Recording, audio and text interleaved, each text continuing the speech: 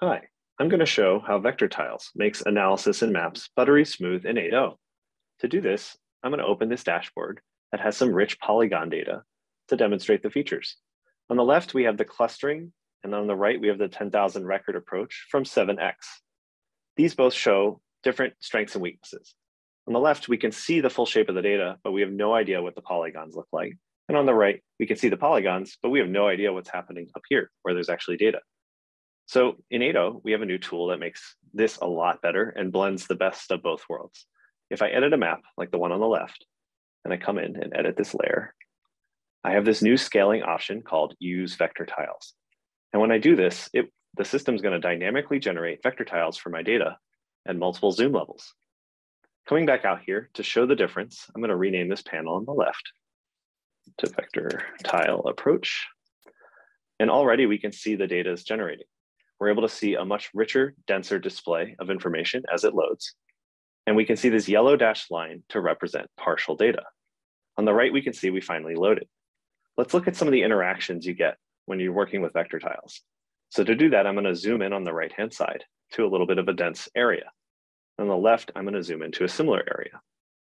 With vector tiles, the shapes are able to scale up effortlessly as you zoom. It's buttery smooth. As the new vector layers come in, they're able to fill in that data and pop in with more resolution. But as you move around the map, you don't lose any data. You just get higher resolution as you go.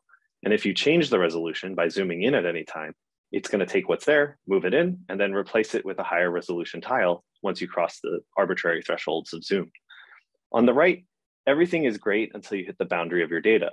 And then the system has to fetch those extra records that represent that boundary. So you have to wait. And as a user, you're really not sure what you're waiting for. Uh, you're not sure what you're going to find. This is really not a great user experience because it leaves you to guess and check. This is one of the great tools that's available in 8.0. And for your Polygon data, I would turn it on for almost every layer. We're so confident about it in 8.1, it's the default for all new Polygon layers. One other cool thing you can do on a dashboard that has things like metrics and visualizations is you can turn on this extra feature that is enabled by map extent to turn any spatial analysis into one that influences your non-spatial data and vice versa. And with vector tiles, this makes navigating around your data lightning fast because we're generating them on the fly and then you have a very smooth interaction experience to work with that data. We really think you're gonna like this feature and we look forward to seeing the maps and dashboards you create in 8.0.